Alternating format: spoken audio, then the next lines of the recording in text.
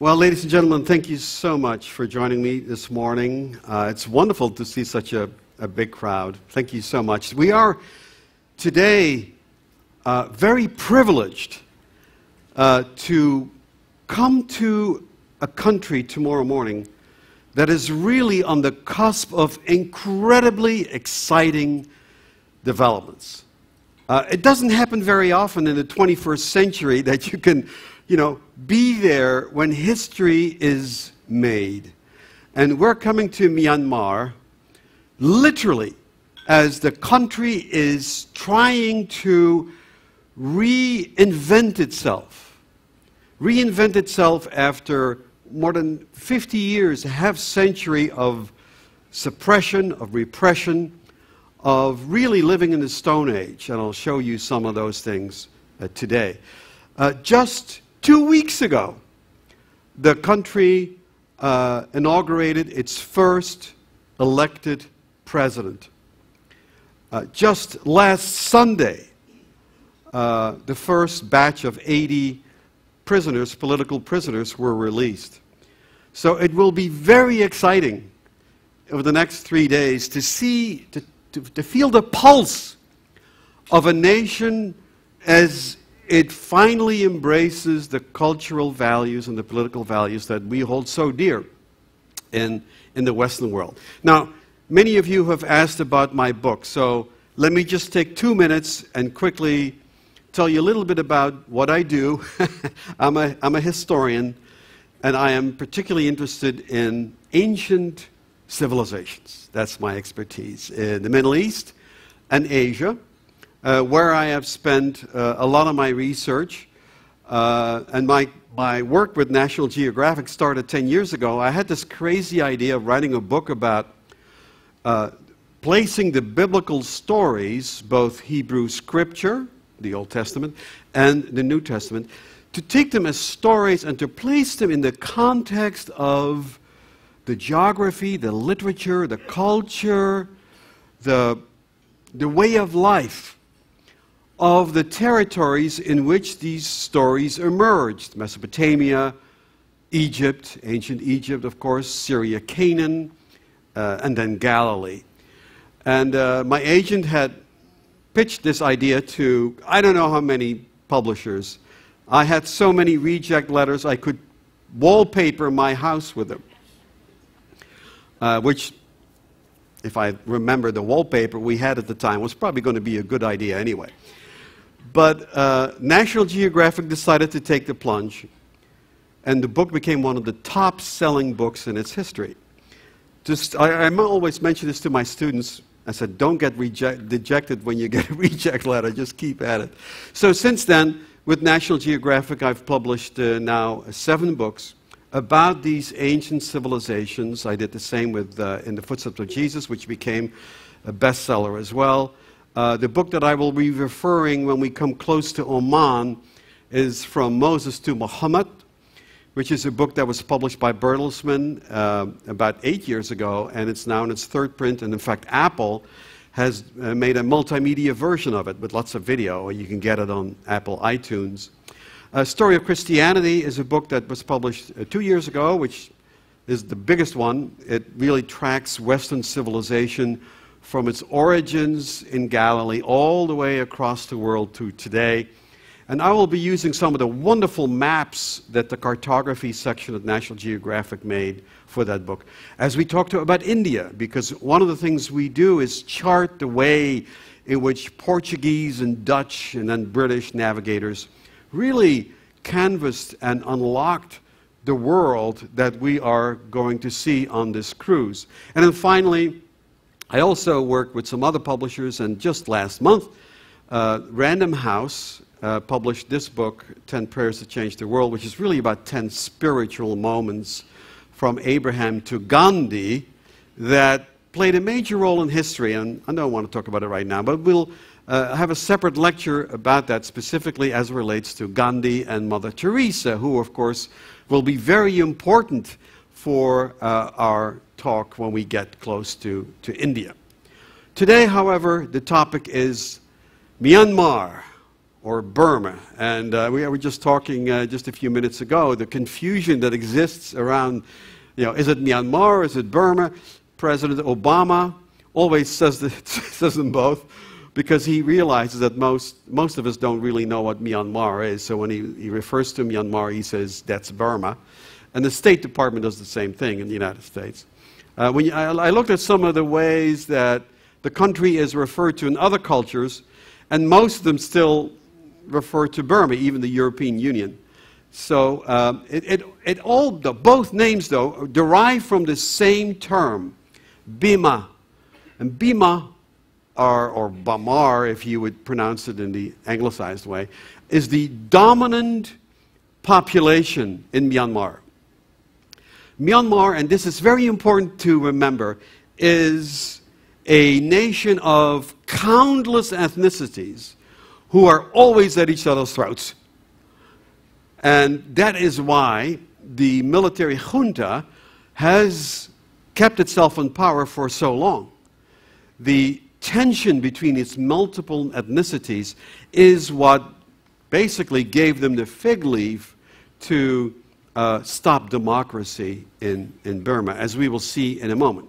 Uh, and so, as a result, until very recently, it was one of the most backwards nations in the world. It's sort of the North Korea of Asia, if you will.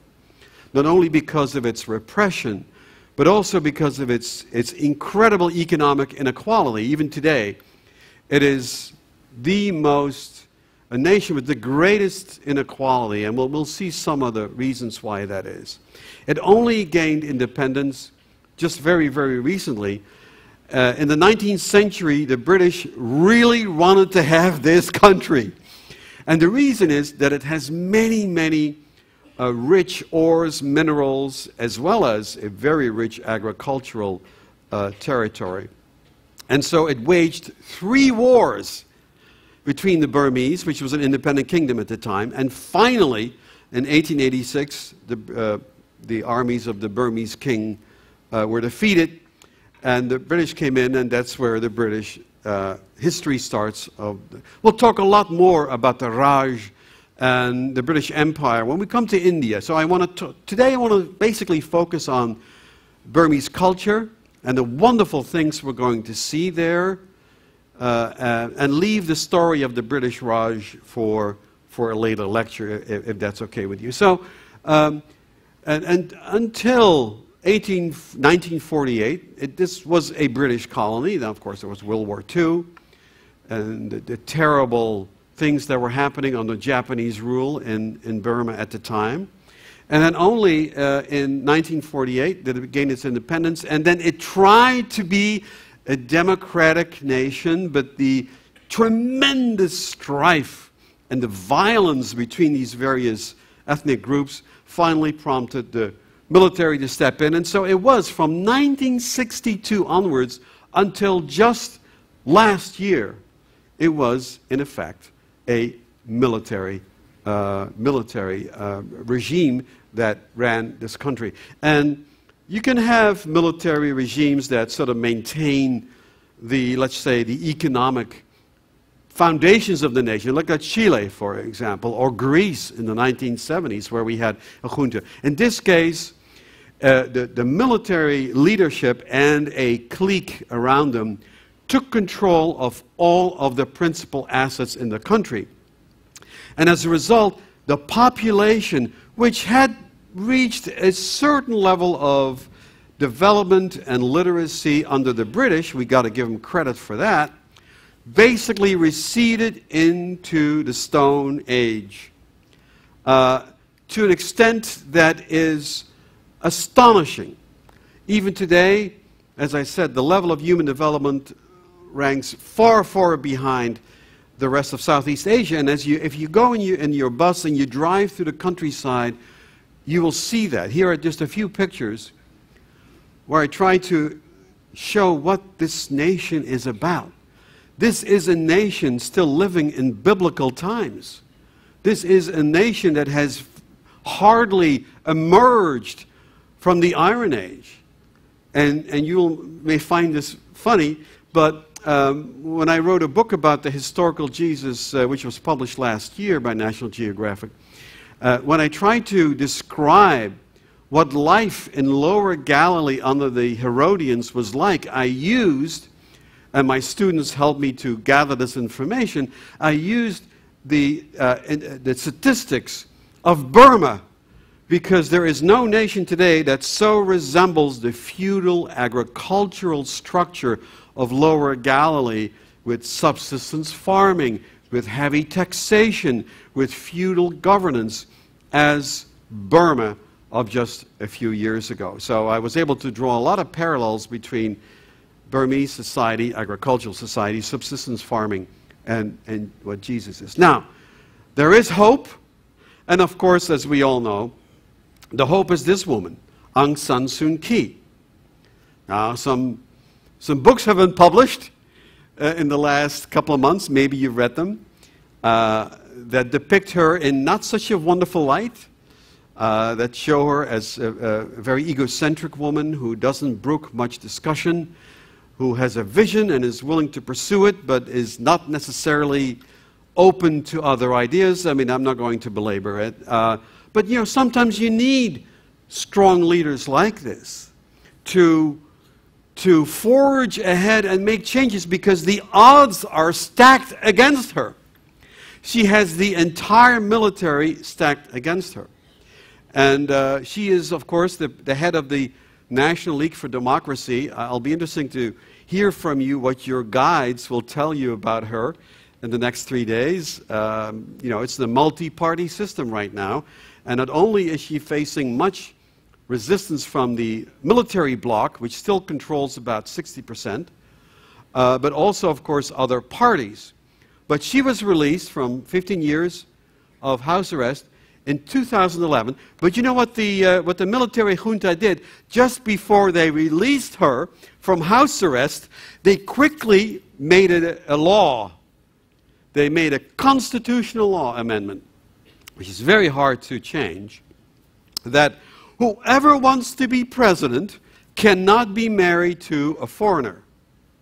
Of course, this was not at all directed at San Suu Kyi, who happened to be married to a, a British person who he, he passed away, unfortunately, and she has British children who hold British citizenship. So, of course, this was directed at her, and as a result, she cannot be president. But, and here comes the big but, just in last November, the NLD party finally was able to garner 86%. Now, why that is important is you cannot overrule the military unless you have more than 67% in the Myanmar parliament. And so when she swept the election and garnered 86%, she is now in a position to really make some changes. And this is all very, very recent. Uh, of course, the, the president who was ultimately elected is Htin Kyaw, uh, who uh, is legitimately the president, but he did something very, very interesting uh, just uh, in the last two weeks. I'm sure you may, perhaps you follow the news. She cannot be president. He was elected president. So they created a special role for her called state counselor. This all happened just in the last two weeks, folks. What is a state counselor? Well, nobody really knows. That's the whole idea.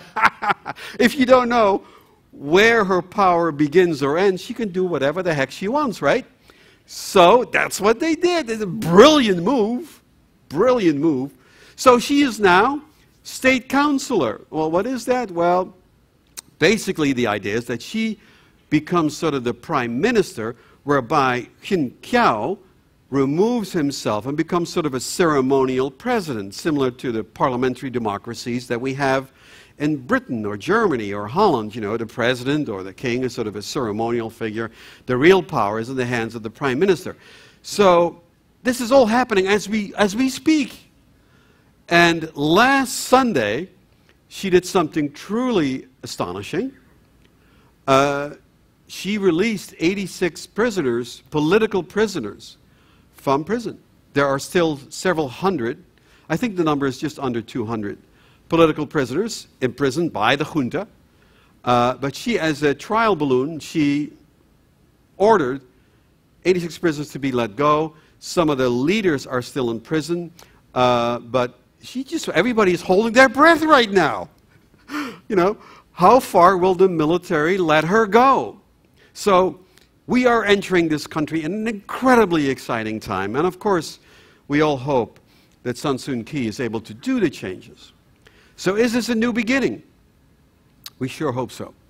And we'll be there over the next three days to witness it. We'll be witnessing history in a very important part of, of the world. So here is, here is Myanmar. It is a fairly large country. It, it's not unlike Thailand in its, in its shape. Uh, let me just come over here a little bit. Uh, as you can see, uh, here is Yangon. This is our destination, Yangon. Uh, and we are currently just about here. I just checked the, the map before I came up here. We're traveling the Andaman Sea, the Andaman Sea here, the Andaman Islands. Nobody really knows what that means, by the way, Andaman. It's supposed to refer to, it's Sanskrit, to uh, an Indian god, but nobody's ever trying to be able to figure that out. We're heading over here, and this is where we're going to be spending the next three days. Uh, further up north is Mandalay. I'll talk a little bit about that. And you can see we are really surrounded by all the usual suspects. you know, uh, Thailand, Laos, Vietnam, China, Bangladesh, India. So we're really at the, at the heart of uh, this wonderful territory. Now, this is actually a very notorious part of the world because where we're sailing right now, and I don't want to get you scared, everything will be fine, but we are literally on the fault line between two tectonic plates, the Burma and the Sunda, uh, which, which runs just about around here. And of course, these tectonic plates tend to make a ruckus once in a while. In fact, they were responsible for the tsunami in 2004, which originated uh, in, in this area. And as we go on, uh, population is 51 million. It's funny because uh, just uh, 2014 they decided to finally figure out how many people live in our country? they didn't know. And people thought, oh, well, you know, at least 60 or 70 million. Turns out only 51 million. People were flabbergasted. They thought many, many more people were living here. And of course, the majority, as, as we saw in Thailand and as we saw in, uh, also, of course, in uh, Kuala Lumpur in Malaysia, they always live along the river and near the coast. So this is where most of the people live here in the Irrawaddy River, which runs all around. That is the, the Nile of Myanmar, Myanmar, right here. See that? This is the Irrawaddy River. I'll show you a, a satellite picture of that. And of course, then here, oops, went a little bit too far. Uh, here is, you have the Himalayas, which again, as we saw in Thailand, sort of run throughout the crown of this region. And here is where all this opium is cultivated. This is called the Golden Triangle. And of course, under the military, they didn't care as much as long as they made a lot of money. So that's where a lot of the opium came from. Here is a satellite picture. And the reason why I wanted to show you this is look at the incredible silt that is being deposited by the Irrawaddy. See that here? Here comes the river. Look at the incredible silt that is being deposited. You can only see that from, from space. And that's, of course, a major problem for the future and for marine wildlife, but also for the future of, of the country. As I said, it has many different cultures and tribes. In fact, there are 130 different languages. I, am not making this up. 130 different languages spoken. So they, you know, they have uh, an official language, uh, but the English, of course, is, is still very much spoken. Uh, although sometimes when you have a sort of a, a, a younger person, uh, the, the older generation tend to speak uh, a little bit English. The younger generation does not as much. Uh, taxi drivers will probably be able to speak a little bit of English, but shopkeepers, not always. It is a Buddhist nation, and so I've organized my lectures in such a way that that I would like to address the three great religions that we will be encountering on this trip. So today I would like to talk about Buddhism. Uh, when we go to India, I'll talk about Hinduism. And then when we go to Oman, I'll talk about Islam. Is that okay with you guys? So, so we get real sense of. I, I tell you why, because, you know, in, in, in our West, you know, we have sort of separated the church from state and work life, right? Uh, not in these countries. In these countries, you cannot see or breathe anything unless you think of it in religious terms. Religion permeates these societies in virtually every aspect of daily life, just as it was in biblical times in many ways. And so it's important to understand a little bit about Buddhism in order to understand what, what makes Myanmar tick. So about 80 to 90 percent are Buddhists of the Theravada tradition. This is the, the tradition that we also find in, in Thailand. Uh, Vietnam has a different branch, but there is a very particular aspect of Theravada Buddhism that we'll talk about. There are still Christians here. I'll show you a beautiful church in a minute. Uh, paganism still thrives in the hinterlands among these various ethnicities. 4% is Muslim, 2% is Hindu, but uh, there's not a whole lot of religious tolerance here. Uh, and so uh, in recent years, 200,000 Muslims have left for Bangladesh, and Christians also report a certain amount of uh, discrimination. Uh, and it is hoped that San Suu Kyi will be able to address this as, as well. Cultural influence, though, are overwhelmingly Buddhist. Now, it's interesting that Buddhism and Hinduism both originated from India, and yet, just like Christianity in the way, Buddhism would flourish outside of the nation of its birth. Just with Christianity. Christianity was born in Roman Palestine, but found its greatest flourishing in Europe and beyond, in Roman Europe. Same here. Buddhism, while it was born in India, really would find its fertile ground in Thailand, Vietnam, uh, and, and Myanmar. Uh, and, and, and that happened gradually uh, because, as we will see in India, it's never really uh, a black and white situation.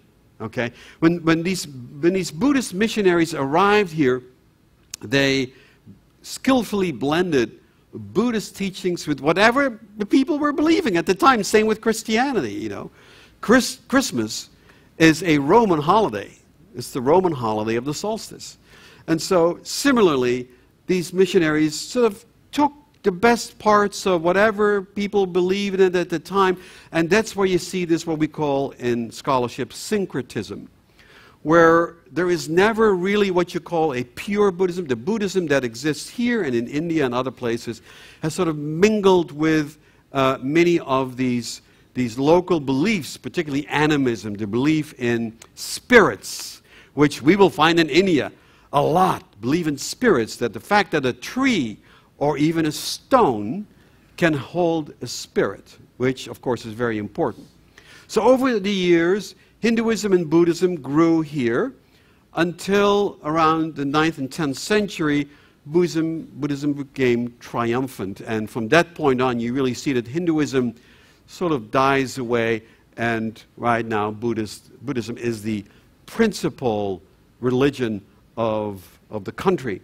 And Buddhist monks and Buddhism has a tremendous influence uh, in, in this nation. Now, the Theravada tradition the Theravada canon came from Sri Lanka compared to the Mahayana tradition. You're probably more familiar with Mahayana, which is in Vietnam.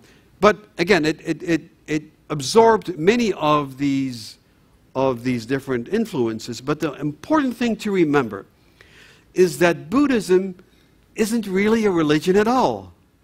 Actually, it, it doesn't believe in a system of gods or God. Uh, it is really what we call, uh, what psychologists would call a system of self actualization. And of course, you know, the, the, Buddha is worshipped as a divine being, and, and there is a great amount of divine strength and spirit involved, but it is not your typical religion where we basically need to communicate with a divine figure, and the divine figure basically governs our life. And, and through the strength of our prayer, can we find a path through the different challenges of our lives? Buddhism is, is quite different from there. Buddhism says that, and this shares with Hinduism, that, that we are in a process of reincarnation, and it's not a good thing. Uh, because after this life, we may be reborn as a human being of a particular class or caste, or we can be born in the form of an animal. The, the, the boundaries between animals and human beings are, are very vague. And so, to get out of this endless cycle of, of reincarnation in which we constantly have to struggle with the material needs of our daily lives, Buddha says we must rise above that. We must rise above our material concerns, whether we need property or clothes or, or food, or we must bring ourselves to a higher level, to an enlightenment where we will reach nirvana. And when we reach nirvana, we will become one with the cosmic power that permeates life, and we will be liberated from the yoke of reincarnation. Do you understand what I'm saying? That is what animates Buddhism. And as long as you understand that, you understand basically everything there is to say. And yes, there are, of course, there are many, many different things uh, that can guide you. There is the Buddha himself. We'll talk a little bit about that in a moment because you're going to see lots of Buddha statues. And I want to basically show you a little bit about what they mean, what, what unique symbols are there. But there was also the writings. I'll talk a little bit about the writings when we come to India. I, I want to just not overpower you with all this stuff. Um, the Dhamma. And there, of course, is the Sangha, the, the Buddhist community. And this is where the rubber meets the road. Because Buddhists, they're not just sitting under a Bodhi tree being enlightened, you know. Of course, that is the ultimate goal. But they're not just locking themselves on a, a monastery. We, we see in the West, we have this idea, this stereotype. Oh, Buddhist monks, they sit there and they go, mum, mum, mum. You know, that, right? That's sort of the idea we have. No, no, no. They're very much part of a living community. In fact, you can compare them with clergy in Western society. These monks, they, they, they, they help you with birth, they, they're there at death, they're there at, at important moments in your life, they're, they're, they're pastors in, in many ways, which is why they are so incredibly held in high esteem. For example, every young man is expected, as part of his education, to spend some time in a monastery. Uh, and that's where he is groomed for this life. Of course, there, this is where he learns about Buddhist theory, Buddhist writings, but also to practice the life of a Buddhist monk. So every male in Burma has pretty much gone through that experience, which is another way why that religion is so deeply ingrained in, in that society. Now, never, ladies, never touch uh, a Burmese man wearing the robes of a monk because they must practice chastity in every which way. And for example, they, they are so revered. For here you can see that they're on this little ferry here. Space for monks. Do you see that? So there, there, there are places in everyday life where this is the, one of the best places on the ferry, and ferries can get pretty, pretty crowded. So great relevance. These, of course, are young uh, novitiates uh, spending their one year or whatever it is uh, in, in a, in, a, monk. You can see their very solemn faces, you know, uh, and very much self-aware of the importance that they are now a Buddhist monk. And of course, in a year from now, these kids will be in university or in the fields or whatever. But they do spend this one year or so in a monastery. Wouldn't it be wonderful if we could do that with our own kids? You know, I think, I think if we could send our kids for a year, I think it would be a great thing. You know, no iPads, no texting, that's it, gang. Just spend a year in a monastery. Is good, for you. Great idea. I, I once presented to my children. They were not impressed. Uh, of course, they're all old now. They're all in their 20s and 30s, but uh, too late now. Maybe the grandkids. I'm going to try work on my grandkids. How's that? You will, you will find uh, lots of things we're going to see um, in, in a Wat. Now, I, referred to a Wat in my first lecture, and I promised I would explain what that is. So I'll do it right now. Uh, a, a Wat is um, sort of a, a, a sacred space. It's a sacred space but it's also a civic space, not unlike uh, ancient synagogues. You know, when the first synagogues were being built in the diaspora, and now this is a topic of great debate, but let's say from the first century BC onwards, uh, synagogues were not just places where you could come together and read the Torah uh, on Shabbat, but whenever something was happening in the community, that's where the community came together. Uh, in moment of joy, and in moments of crisis. And the Buddhist Wat is somewhat similar. It is the center of the Buddhist, of the Burmese community. Not just for religious purposes, that's very important too, but for all the important things that are going on in the community. So typically in a Buddhist Wat, and this goes for the small village as well as for the great Wats that we will see in Yangon, is the idea of uh, a central temple, pretty much like a Greek Acropolis, right? Uh, at the center of the Wat stands the Bot, the main hall, uh, the, the Bot. And that is where you will see the Buddha. I'll talk about the Buddha and why that statue is so important in a minute.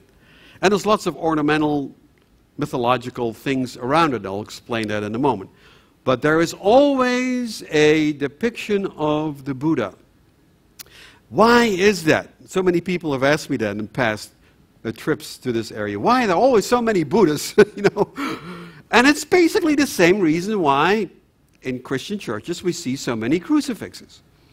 Um, and the Germans have a wonderful word for it. They call it Andachtsbild.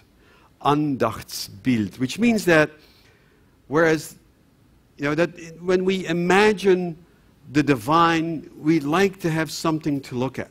You know, we are creatures of our six senses. It's very some people can do it. Some people can communicate with the divine simply by meditation, but many of us we need something to aspire to, something to focus our energies on. And in the case of the Buddha, that is especially important because for Buddhists, the Buddha is the impersonification of that enlightenment to which we all strive. And I'll show you some of the symbolic gestures.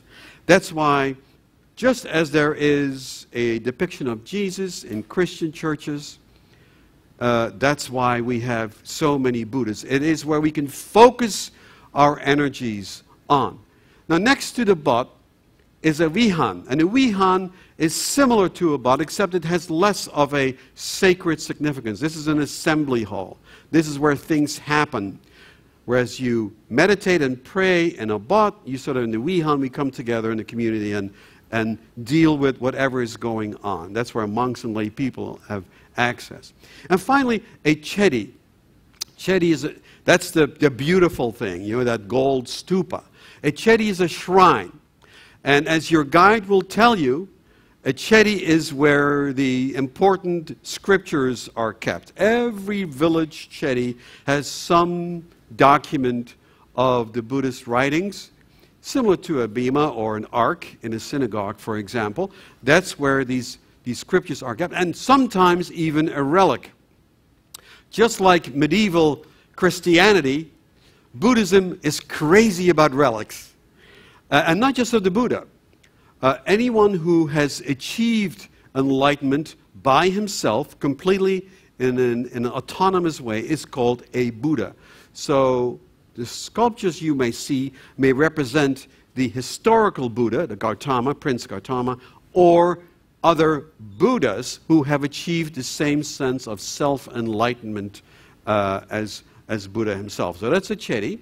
And then finally, we have uh, a bell tower, which doesn't always appear, but a bell tower, or the Horang Kung, of course, can summon the faithful in times of need. This, of course, is the typical bell-type structure that you would associate with a chedi. It comes from Sri Lanka, uh, and, and this, is, this, of course, is a very beautiful one. This one happens to be in Bangkok. And that is as, as ubiquitous to the Burmese landscape as you would see a, ch a church tower in, in, in Europe or a minaret. But in the case of Burma, we do have some minor modifications. First of all, the shape is a little rounder because it depicts the begging bowl of Buddha upside down. You know, you're, not, you're never supposed to purchase your own food in Buddhism. If you're a monk, you must subsist on whatever the community gives you. And of course, if you do give something to a monk, it is highly, highly rewarded. You get bonus points. I don't want to be dis you know, disrespectful, but, but it all adds up to your climb into full enlightenment. So that's the significance of the bowl. And then the spire is his walking staff. Now, typically on top, there is a iron filament because that is actually designed to function as a lightning rod. Many of these things are covered with metal, uh, tend to attract a lot of lightning strikes, so that's why many of them have to have a, a, a large rod at top. Of course, what I'm showing you here is the great Shwedagon Pagoda. Shwedagon Pagoda. And you will hear a lot about the Shwedagon Pagoda. It is by far the central focal point of Yangon, of old Rangoon. And it is, ladies and gentlemen, it is, I think, one of the top 10 places in the world. Uh, it is an incredible experience to see this great sacred precinct of Shwedagon. Uh, it is 60 tons of gold. That's a lot of gold. That's a lot of gold. It is considered uh, a, a, great, great benefit to your Buddhist ascendancy if you put gold on a stupa. So this is not done by one individual. These are thousands of the faithful who have come and applied a piece of gold, you know, with their hard-earned money to apply that, and it's considered a major sign of respect for the Buddha. 60 tons of gold. Uh, and uh, of course, there are other styles. There are lots of civic styles. As you can see here, this is the royal precinct uh, that, that we see in Mandalay. And these uh, building styles are very much in keeping with what we see in Thailand. And I'm just showing you that because uh, on, past cruises, people have asked, well, what about Mandalay? Don't we, I always hear about Mandalay, you know, the, the lost city. But what happened to that? Well, Mandalay, as I showed you before, is sort of in the center of the country. It was a royal capital for a long time of the Burmese kingdom uh, until the British came. Um, and, but it's, it's pretty far. It's about 450 miles north of Rangoon, so I'm not sure if many of us will be able to see it. Uh, and even though today Naypyidaw is the official capital. The, the military junta went there just uh, 10 years ago. Uh, Mandalay is still sort of the cultural heart, if you will, of uh, Myanmar. But Yangon, by definitely, is the economic heart. This is the entry point between Myanmar and the West. And so much of the investments that are currently pouring into Yangon, uh, into Myanmar, are all centered in this area. And actually, that was the real reason why the military decided to open up to democracy because nobody was investing in the country. No transparency. Well, if you're an investor, you're not going to invest in a country when there's no transparency of the rule. Certainly not because so much corruption was keeping the resources of the country uh, into this tight clique. And that's really the reason why the military is opening up. Not because they are suddenly infused with a great democratic spirit, but they realize that without investment, uh, the country is not going very far. And much of that is located right here, the city where we're going to spend the next three days, at the confluence of two rivers, Yangon and Bago. And uh, this is where a lot of the development takes place, but you will see, for example, uh, here's a shot from uh, space. I always like to, to, to, show you these things because you can really see sort of the relationship between uh, the sprawl. Remember the sprawl I showed you of Kuala Lumpur? Compare that to this. It's all green, right? So you have a very small area of, of urban development, but the vast part of the surrounding countryside, you'll see that from your bus, is still rural, feudal, subsistence. A lot of development still has to take place.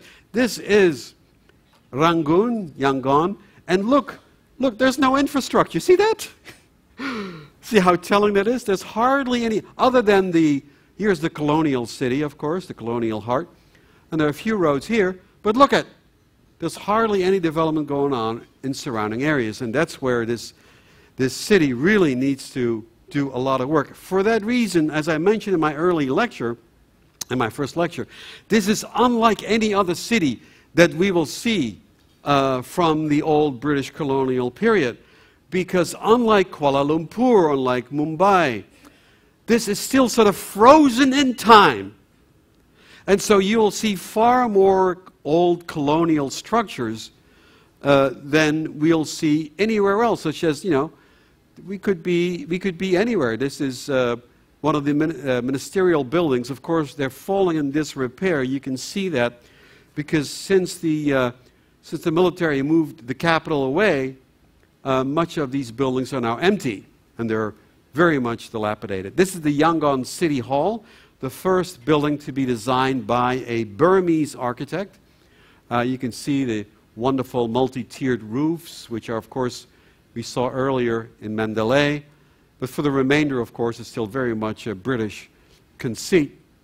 Railway station, all of these beautiful colonial buildings are still standing there, and they're still functioning because they haven't gotten the time or the money uh, to uh, replace them with these big glass towers that we see in Singapore and uh, Kuala Lumpur. Here, you, this could be, you know, standing here, you, you might think you're in West London you know, isn't it? Look at these leafy trees and beautiful Victorian architecture. Uh, it's all still there. Now, this is interesting because uh, this is St. Mary's Cathedral. My mother is Dutch, and this was built by uh, a famous Dutch architect, uh, Joseph Cuypers.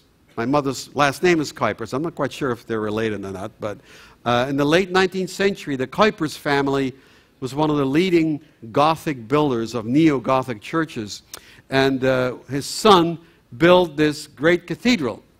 It's very similar to the cathedral that you find in Eindhoven, which is built by his father, Pierre Cuypers. So, beautiful cathedral, neo Gothic, 19th century brick. Uh, and of course, your guide will undoubtedly show you this building as well. This is the famous Strand Hotel. But uh, it's often said that these were built, that this hotel was built by the Sarkis brothers. That's not true.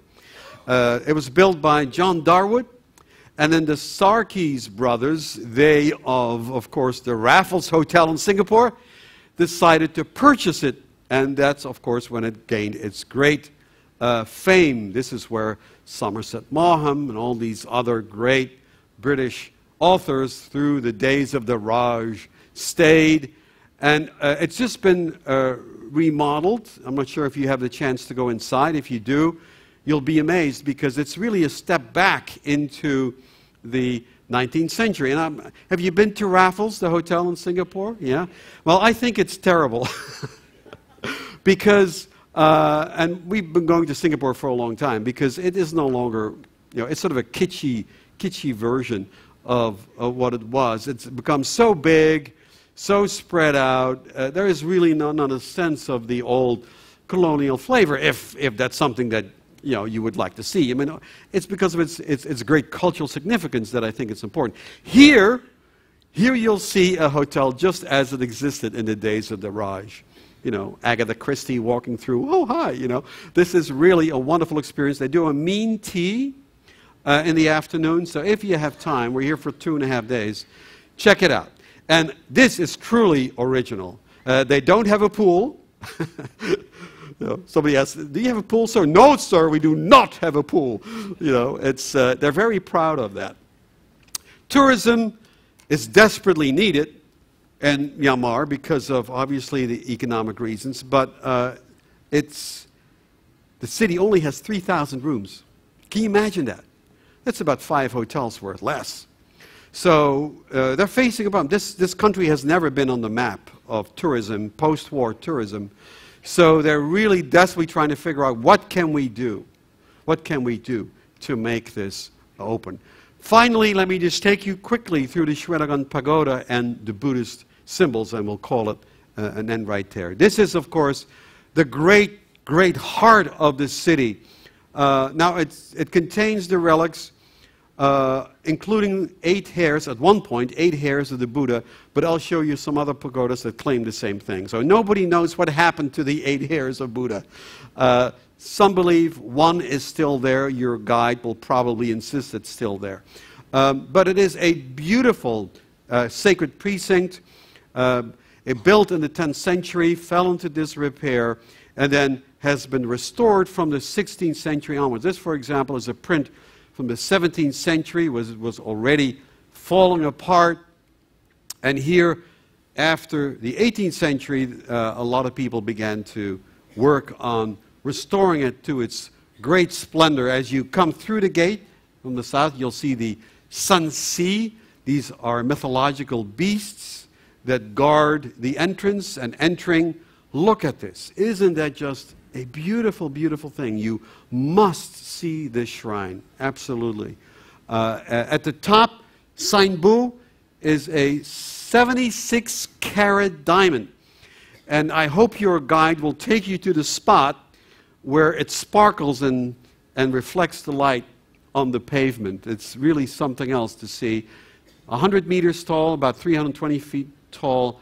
Uh, it is a beautiful area. See these things around it these represent the various planetary elements Sun, Moon, Mars, Mercury, Rahu, Jupiter, Venus, and Saturn.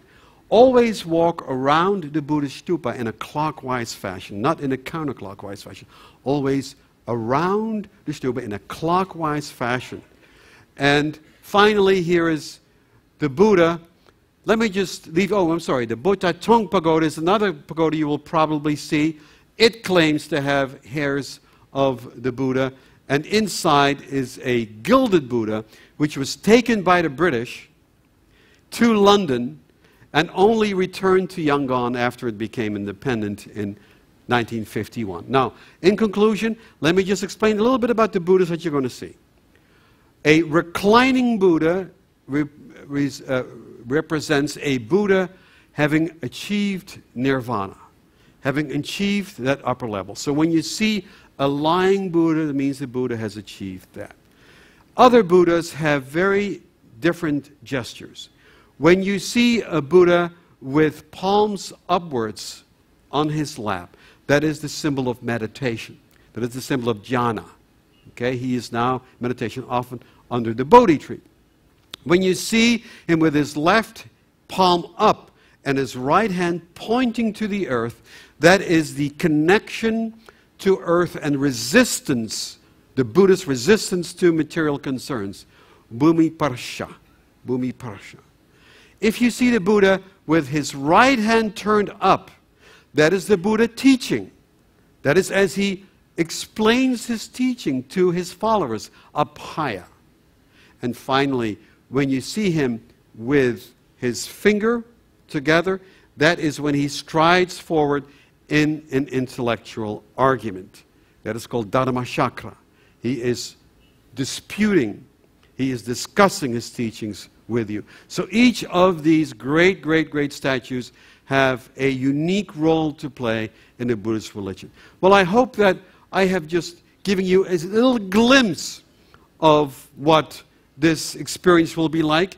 Just a few more things to remember. Shorts or sleeveless shirts are not considered proper dress. So please dress conservatively. Be prepared that your shoes must have closed toes, and you will be asked to take off your shoes as you enter the Wat. And please do not take pictures of the Buddha, or certainly not posing in front of the Buddha or taking a selfie. That is considered uh, a bit rude. So uh, if you take a picture of the Buddha, do it very discreetly and don't put your loved one in front of it. Uh, because for Buddhists, it is very much a very sacred image. And when you sit, many people will sit in meditation. Keep your foot, or don't, don't stretch out your feet, but keep them under your knees so your feet don't point towards the Buddha. These are just a few things to remember to make sure that, that we respect the people that are there. Well, I hope I have given you a little bit of a glimpse of what we can expect in the next three days. I hope you have a wonderful time here and join me, please, for my next lecture about Cochin, Mangalore, and